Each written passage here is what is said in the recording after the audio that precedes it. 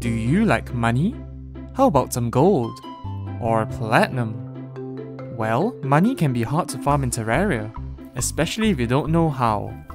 That's why I'm here to show you the best AFK money farm in the whole game to meet your spending needs. I'm Zuzucorn and I aim to entertain, encourage, and give casuals a place to call home. So subscribe now and join the casual family.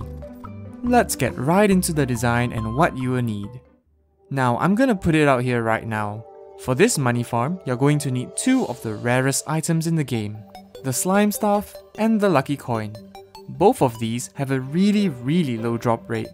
But lucky for you, I've got videos on how to get them both, easily and AFK. So check those out after this video, links are in the description below. To build this farm, what you need are mud blocks gathered from the jungle. The farm will be built in the ocean as well. I'll explain the design step by step and show you the principles behind each step, so you can build your own variation if you have to. First of all, build a row of mud blocks like this along the surface of the ocean. You can go one block higher if you want to. For this farm, we want ocean monsters to get trapped in a place where we can freely farm them. So build two vertical walls like so. We want the enemies to be trapped in the middle there.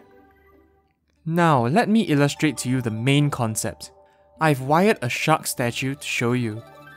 Monsters in the water will target you when the game detects that you're submerged in water. Look, the moment I go in, the shark comes for me, this mechanic is important because if we make a U-shape like this and fill it with water, when we stand inside, the game thinks that we are submerged, making the enemies come to us. This is a really interesting mechanic. So back to the farm, make a similar U-shape and fill it with water. Look, it's working great. The enemies are now coming for us. Now, the issue here is that they get stuck on the sides. We want them to funnel into the trap. To do this, all you need is a slanted surface. Make a zigzag pattern like this. Then use a hammer to hammer the sides to form a smooth triangle. Do the same for the left side as well. Now let's test it out.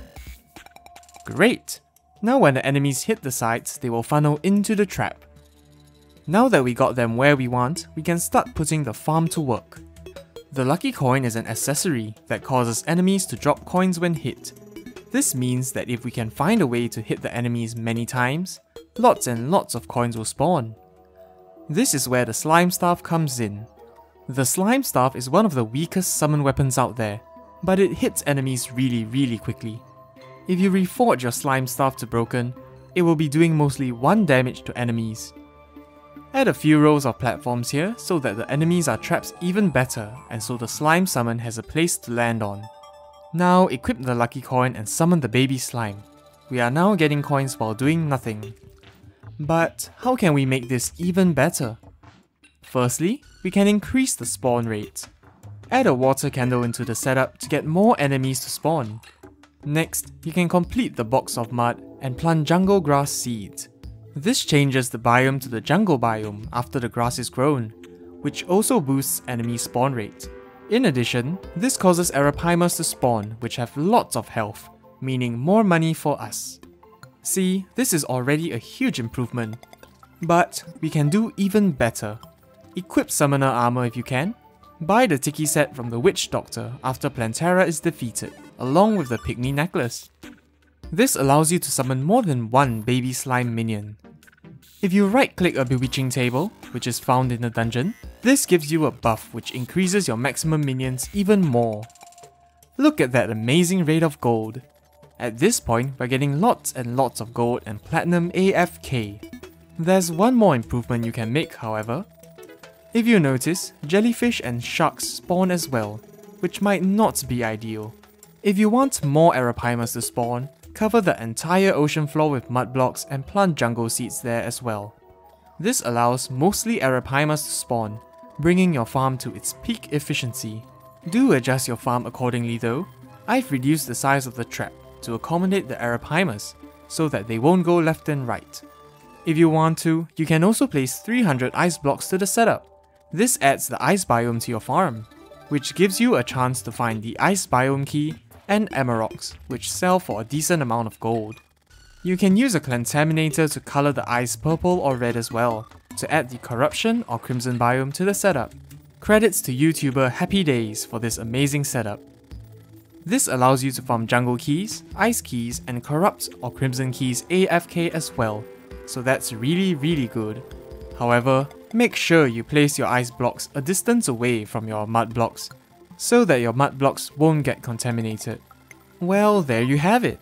In just 10 minutes of AFK, we've managed to get about 5 to 6 platinum, which means that you can get about 30 to 40 platinum for an hour of doing absolutely nothing. So this farm is easy to set up and is so efficient for generating money AFK. The only challenges are acquiring the lucky coin and the slime staff, but check out my other videos on them and you get those in no time. Well, if you enjoyed the video, make sure to subscribe and hit the bell icon too for more Terraria guides and coverage. This has been Zuzucorn Games, by casuals for casuals. Have a nice day and have a great week ahead. Bye bye.